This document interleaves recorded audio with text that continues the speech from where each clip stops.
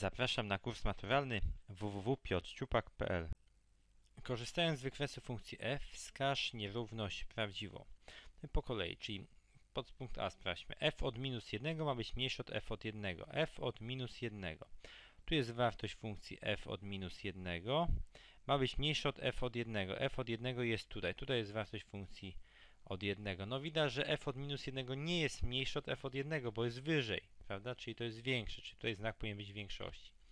Dalej, f od 1, czyli ta wartość ma być mniejsza od f od 3. f od 3 tu jest 3, czyli f od 3 jest tutaj, f od 3.